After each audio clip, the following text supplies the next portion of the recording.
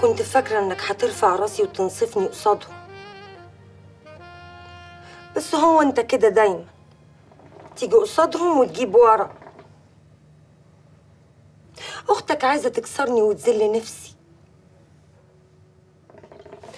مرة حبي على راس الغندورة والتانية حبي على إيد أفندينا.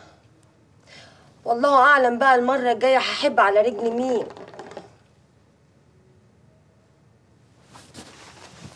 يا راجل بتبصلي كده ليه زي ما اكون مجنونة ولا بقطع في شعري؟ لما تلم العيال أحسن وتزقلوني بالطوب؟ اهدي اهدى شو عاملاها مش مستاهلة. كرامتي مش مستاهلة عندك يا راجل. انت مش حمل ضاوية ولا حمل سمها ولا حد في الكون ده كله حمل جزة من نبأ.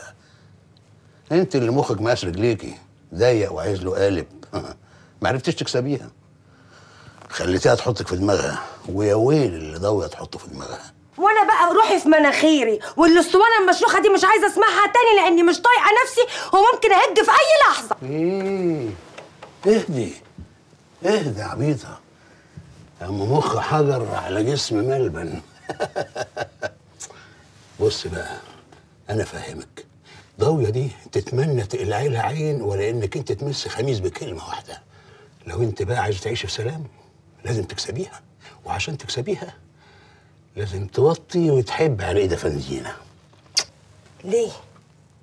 ده أنا على ذمة راجل. بقول لك إيه؟ ما تدخليش عيشة في أم الخير. الله. دي غير دي؟ خميس ده أملنا كلنا. أملنا عشان نرجع تاني ملوك الصنف ونقدر نقيم راسنا في السوق ونرجع بيتنا اللي اتاخد غصب وخلانا نضطر نلعب في القطاعي.